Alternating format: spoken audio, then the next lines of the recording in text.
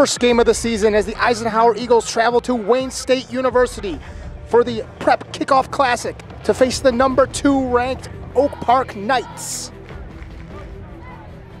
Dwan Mathis looking to strike deep, but broken up by Steven Nadolski. Future Buckeye, Dwan Mathis. Completion to Clifford Green, and they're into Eisenhower territory. Jeremiah Blanks for the Oak Park Knights gets the corner, finally being pushed out at the five yard line of Ike. And Dwan Mathis with the keeper in from five yards out. The extra point was no good, and Oak Park led six to nothing. Caleb Oyster for the Eisenhower Eagles almost brings this one to the house, but a, but a shoestring tackle by Oak Park. And the Eisenhower Eagles got a healthy dose of Jeremiah Blanks. Down to the 25 yard line of Ike. Dwan Mathis looking under pressure, escapes to his right, and heaves this one skyward. Jump ball, and Oak Park comes down with it. Touchdown. Botched handoff between Dwan Mathis and Jeremiah Blanks. Puts the ball on the ground. Eisenhower. Eisenhower recovers. Eisenhower finally getting on the board. Blake Rastigue. Long pass to Caleb Oyster. And he spins out of an arm tackle. Into the end zone for six points. Blake Rastigue and Caleb Oyster making things happen again. This time a screen pass.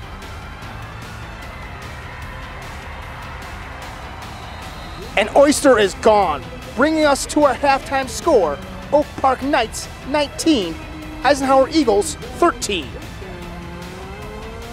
Nice pitch and catch from Blake Rastigue, connecting with Nathan Pettypool. Still driving, Alexander Jarvis with a nice reception here, but that drive would stall out and Oak Park would take over. Oak Park's Jeremiah Blanks cutting his way through defenders. And off to the races, he's gone for another six points. Sophomore Jeremiah Blanks finally brought down at the one yard line.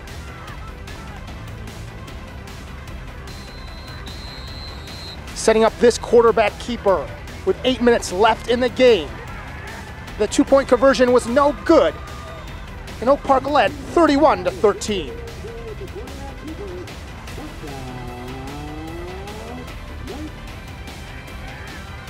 One last chance for Eisenhower to score.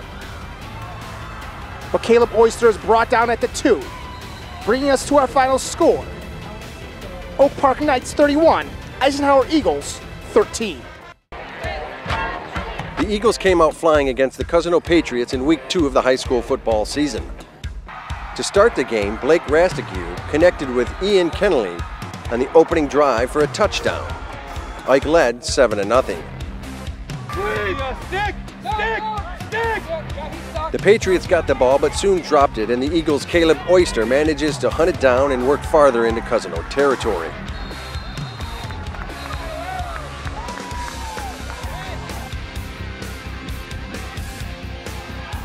and it looked like Rastigue would add six to Ike's early lead, but the TD was called back due to a penalty.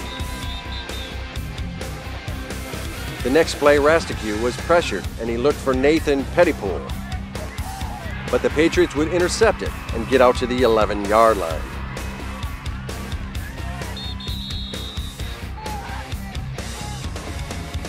But the Patriots were soon forced to punt, and Steven Nadolski took full advantage, working off some great blocking Steven finds his open field and scurries 45 yards for the return, and Ike was up 14 to nothing.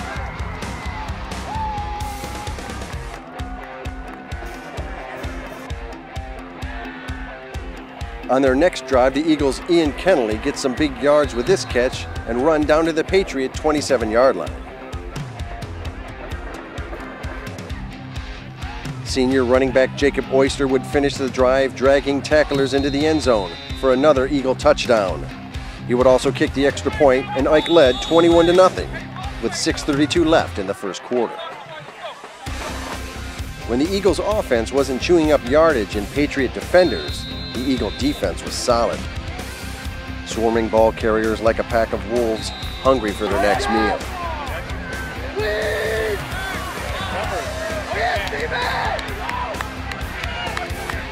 On the first play of their next drive, the Eagles tried to keep it simple, which they did. One play, Rastigue to a streaking Alexander Jarvis. A little over 50 yards and Ike was up 28 to nothing at the end of the first quarter. In the second quarter, the Eagles' Caleb Oyster finishes up Eisenhower's first drive. He smashes his way in from the one yard for a touchdown to put the Eagles up 35 to nothing. Again, the Cousino offense was met by a stingy Ike defense. Luke Devereaux and Justin Tretzky headlined this tackle for a loss. Later, Justin would be rewarded with a fumble recovery to end a very active Patriot drive.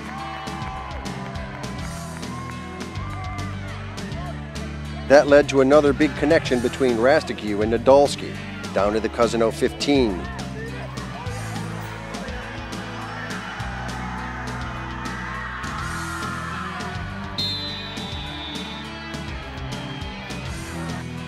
Caleb Oyster again finishes the drive for the Eagles, spinning and banging 15 yards for another Eagle touchdown.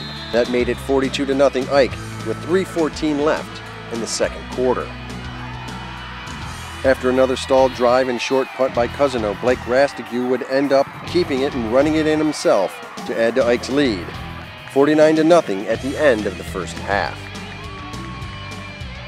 In the third quarter, the Eagles go with Braden Van Gilder at quarterback, and he would pitch to Jacob Smith, who would work his way down to the four yard line. Smith would get the call on the next play where he squeezes his way into the end zone for the touchdown. That put Eisenhower up 55 to nothing.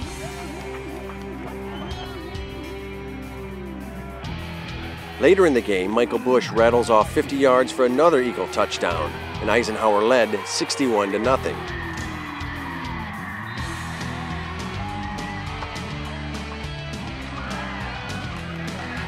Late in the fourth quarter, Braden Van Gilder would cap off the Eagles' onslaught with a 10-yard quarterback keeper.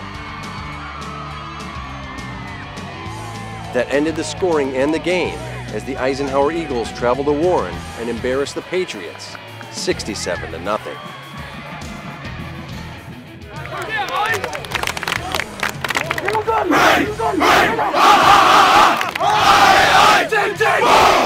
The Eisenhower Eagles have their first home game of the season against MAC Red Division foe Chippewa Valley. Chippewa Valley up 7-0 in the first quarter, and quarterback Blake Rastigue with a keeper, tying the game up at 7 apiece. Second quarter, Big Reds quarterback Tommy Schuster throws a perfect pass to Daniel Stout to give them back the lead. But Ike answers right back with a bomb from Rastigue to Ian Kennelly, and he is gone, tying the game back up 14 to 14. Tommy Schuster with the keeper looking to score, but he fumbles at the one yard line, and Ike recovers. But the Big Reds would get possession back within a few plays, setting up this six yard touchdown run by David Ellis. Check out this crazy play by the Eagles offense. Rastigue with the first down pass to Massimo D'Aristotle. He breaks a tackle, and the ball is stripped, but D'Aristotle falls right back on it, and it would set up a field goal to make it 24 17 Chippewa Valley. But the craziness continues on the ensuing kickoff. David Ellis of the Big Red shows off his speed, and he would not be denied as he returns this one for 89 yards and the touchdown. The Eagles not giving up just yet as Rescue scores his second rushing touchdown of the game. But ultimately, the Big Reds would take this one with a final score of 45 to 24. Eisenhower looks to bounce back next week as they take on the 2-1 Romeo Bulldogs at Runkle Field. Are you interested in taking care of a reptile or amphibian at home, but not sure how to take care of them? Why not adopt one at our Burgess Shadbush Nature Center? One year adoptions are $25 for a small animal and $50 for a large animal. You'll get an adoption certificate, and the adoption fee will help cover vet care and expenses for your animal. You're encouraged to come in regularly to take care of your animal. For more information, you can call the Burgess Shadbush Nature Center at 586 323 2478 or contact them at naturecenter at shelbytwp.org. You can visit the Nature Center yourself at 4101 Riverbends Drive, off of the Ryan Road entrance of Riverbends Park. In the 31st meeting on the gridiron of two longtime rivals, the 2 and 1 Bulldogs hosted the 1 and 2 Eagles in a MAC Red matchup at Barnaboo Field. Early Blake Rastigue and Ian Kennelly look for the quick strike, but the Bulldogs have it covered.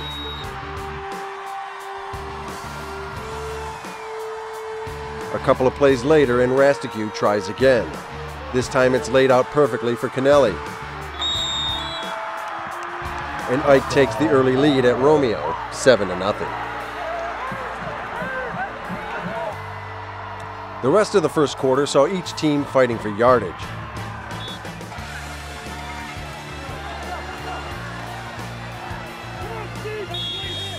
and punishing the ball carriers with each opportunity.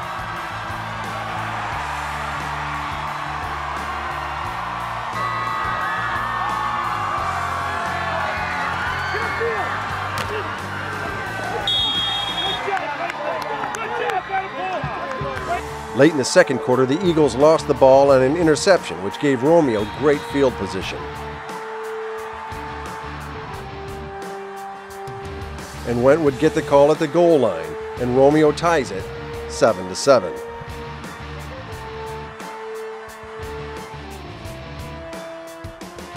Late in the first half, the defenses made it so neither team could put more points on the board, as the half ended 7 to 7.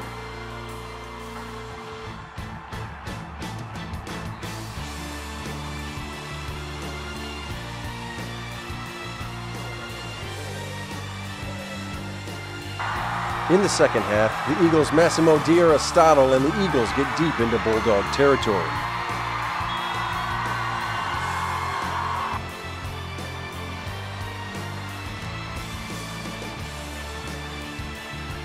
But Ryan Humbuck would end the Eagles' drive with an interception in the end zone. On defense, Ike's James Collin makes a great stop on running back Ryan Chapsky. Then Colleen Duda to catch Horn in the backfield.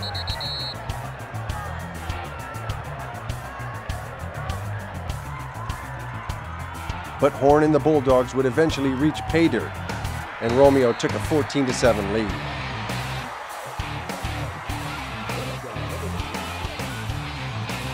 Despite a nice catch and run by Nathan Pettypool, the Eagles were forced to punt.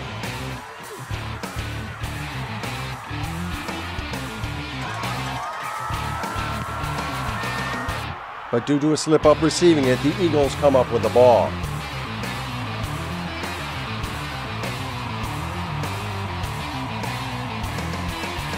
Caleb Oyster in the Eagle offense would end up scoring another touchdown, making it 14 to 14. There, the stage was set for Brock Horn. 55 yards, and the Bulldogs were back up 21 to 14.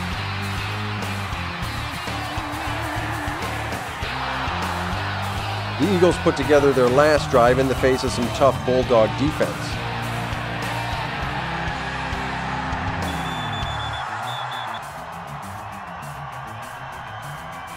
In a last effort, a scrambling Rastigue spots D'Aristotle in the end zone.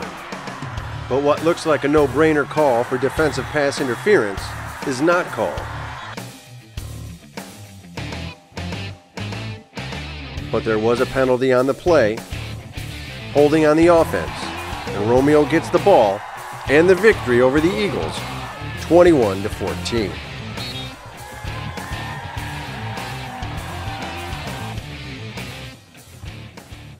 Eisenhower faces a familiar foe in the Stevenson Titans on homecoming.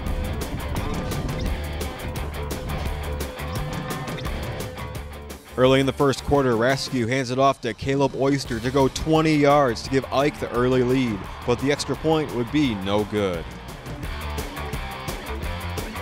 In the second quarter, Rastigue finds Alexander Jarvis, who goes 38 yards down the sideline for the touchdown, making it 13 to nothing. Later on, Rastigue hands it to Oyster again as he scores his second touchdown of the night. But spoiler alert, it wouldn't be his last. Stevenson gets a chance on fourth and three as Justin McCown finds Brandon Szymanski, but his foot would be just out of bounds.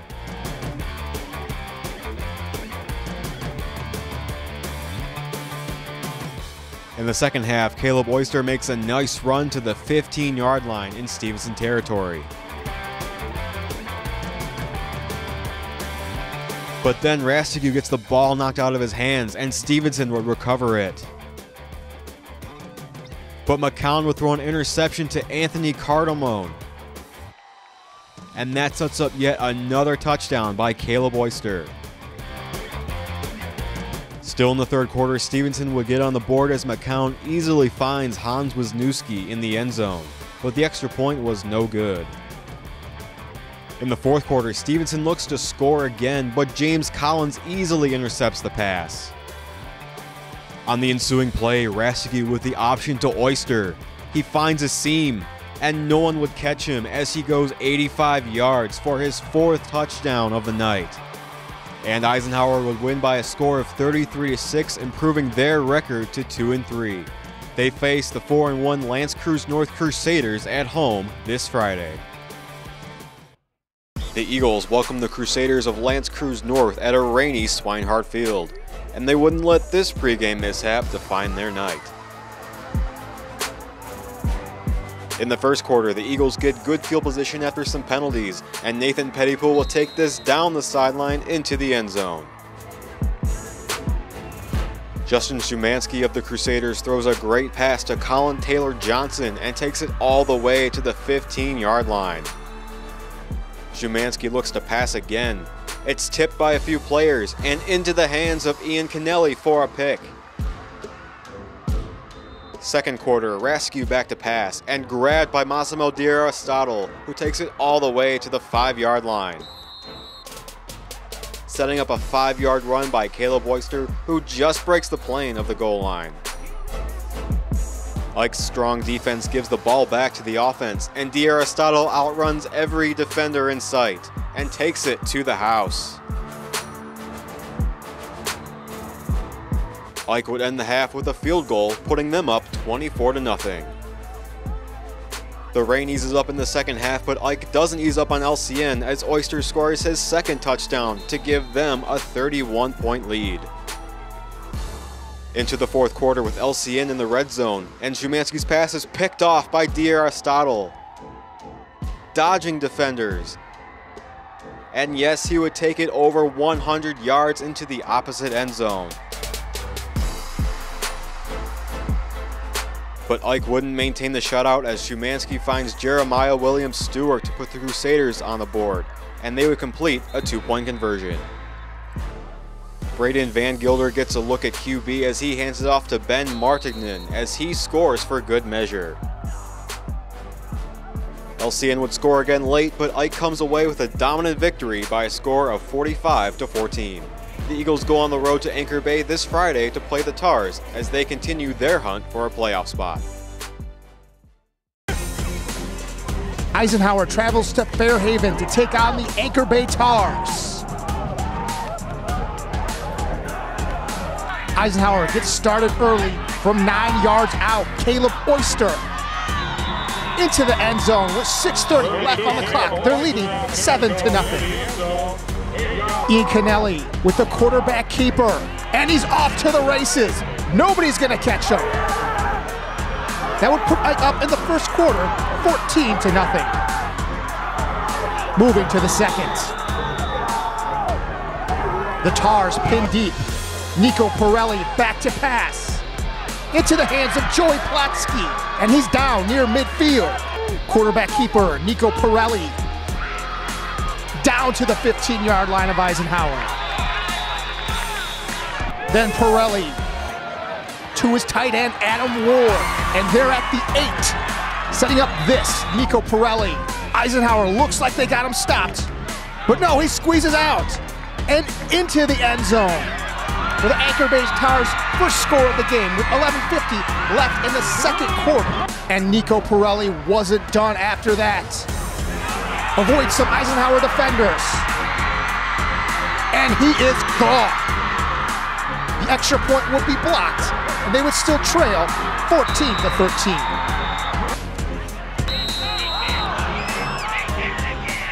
Read option for Ian Kennelly, and he just takes it down to the four of Anchor Bay. And he's the one that hits pay dirt with 6.16 left in the half. Ian Kennelly through the scrum of bodies to put the Eagles up 21 to 13. And the Eagles would tack on another. Ian Kennelly, screen pass to Nathan Pettypool, which would put them up at the half 28 to 13. Ian Kennelly getting it done through the air as well with this 26-yard touchdown pass to Alexander Jarvis. Later on in the third quarter, Caleb Oyster gets right to the doorstep, setting up this one-yard touchdown run by Caleb Oyster. It was his second touchdown on the night. And Eisenhower working hard on the defensive end as well. Massimo D'Aristotle with a pick here. And that would bring us to our final score. Eisenhower Eagles 42, Anchor Bay Tars 13. 15 years and Esplendido Mexican Restaurants is still known for its great tasting quality food. Their secret? Combining the classic taste of Jimmy's Pizza and the well-loved menu from the original Pancho's restaurant. There's daily food and drink specials and weekday happy hours. Also, stop in for Taco Tuesday or on Sunday when kids eat free. Dine in or carry out. That's Esplendido Mexican Cuisine off Mound Road in Shelby Township. Call 586 739 1070. Eisenhower and Dakota face off in the highly anticipated MAC Red Division rivalry matchup. It was Ian Kennelly at quarterback, and he did not disappoint as he would take this himself for 45 yards to the end zone to give the Eagles first blood. Dakota senior quarterback Mark Toko back to pass, but it's picked off by Steven Nadolski. Ike looks to take advantage, and Kennelly works his magic again, this time finding a hole and running for 73 yards to the house, giving Ike the two-score advantage.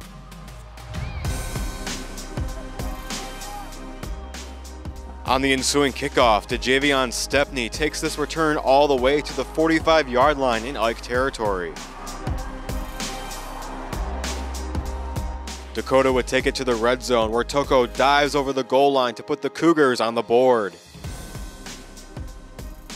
The Cougars back at it again, and this time Mark Toko throws a 45-yard bomb to Brandon Michalak setting up a run by Jack Murray who punches it in for six points. The extra point was missed, making it a one point lead for the Eagles going into halftime. Back at it in the third quarter, and Ian Kennelly just makes it look easy, and he's off to the races for 66 yards to extend the Eagles' lead. With the game winding down, Mark Toko looks to tie the game up, but Kennelly denies the pass. A great game for him and the Eagles as they defeat Dakota 21 to 13. Eisenhower travels to Runkle Field to take on Ford. Their playoff hopes on the line. If they win, they're in. Caleb Oyster was not going to be denied tonight, fighting his way through two defenders, then juking out two others into the end zone at the 10:34 mark of the first quarter to make it 7 to 0 Eisenhower. And Eisenhower getting it done on the defensive end. Steven Nadolski with this interception. And just into the second quarter, 11.52 left. Blake Rastigue to Ian Kennelly, quarterback to quarterback. Touchdown. Ian Kennelly option left. Pitches out to Caleb Oyster and he's off to the races, finally being pushed out at the 18-yard line of Ford. And Blake Rastigue with his second touchdown pass, this time to Alexander Jarvis. And here with his second interception on the night, Steven Nadolski almost taking it to the house. Setting up this. Caleb Oyster effortlessly walking into the end zone. Ian Kennelly back to pass. Completes to Alexander Jarvis, but squeaks out of his hands. He finally recovers his own fumble at the seven yard line of Ford, setting up a quarterback keeper for Ian Kennelly to put them up at the half 35 to 0. Ford trying to get something going in the second half. Chance Kirkwood brushes off an Eisenhower defender, finally being brought down in Eisenhower territory. I got ball, I got ball, I got ball. Setting up this four-yard touchdown run by Hunter Osantoski. Eisenhower was still up 35 to 7. Later on in the second half, Braden Van Gilder bombs this one to Michael Bush. And Michael Bush punches this one in for a touchdown. They're up 42 to 7. Henry Ford finally getting something going. Chance Kirkwood through the air to Tavon Thompson. The two-point conversion was no good. And they still trailed 42 to 13. Waning seconds of the game. A misplayed snap gets Ford the ball on the one yard line. And Chance Kirkwood would back in for their final points. But that wasn't quite enough. Final score Eisenhower Eagles 42, Henry Ford Falcons 19. First round of the MHSAA playoffs as the Eisenhower Eagles travel to the Chippewa Valley to take on the Big Reds. Opening kickoff, short kick for Ike, and it's a live ball. Colin James recovers, and the Eagles take over. Ian Kennelly, quarterback keeper, all the way down to the 12 yard line of Chippewa Valley. And finishing the drive, Kennelly again up the middle for a four yard touchdown run. Put the Eagles up seven to nothing. Now the Big Reds driving on the doorstep. Tommy Schuster diving for the end zone. And the ball comes loose. It looks like Ike's got it. But no, he's down at the one yard line. Very next play, Andre Chanot busting through some arm tackles into the end zone with 5.04 left, tying it up at seven apiece. Moving to the second quarter, Chippewa Valley on the four yard line of Eisenhower, and David Ellis walks in for the touchdown. Put them up 14 to 7. Tommy Schuster back to pass, but sacked by Anthony Cardamone and Dalton DeWicki, and it's a fumble. Eisenhower recovers. Ian Kennelly getting pressured in the pocket, runs right, and throws across his body. But picked off by Corey Anderson. Schuster, screen pass to Andre Chanot. Just bullying his way through defenders.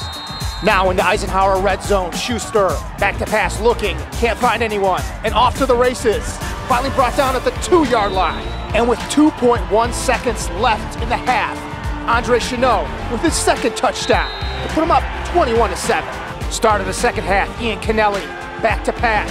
Bombs it to Massimo Di D'Aristotle. Finally brought down at the 36 of Chippewa Valley. Eisenhower going for pay dirt. Ian Kennelly, but right through the outstretched hands of Nathan Pettypool. That drive would stall out and Chippewa Valley would take over. But nobody could stop Andre Chanot.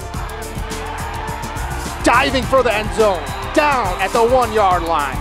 Very next play, Andre Chanot in for his third. He's got a hat trick of touchdowns. The extra point was no good, and they led 27 to 7. And the final nail in the coffin, Andre Chanot with a 48-yard touchdown rumble. Bring us to our final score. Chippewa Valley Big Reds 34, Eisenhower Eagles 7.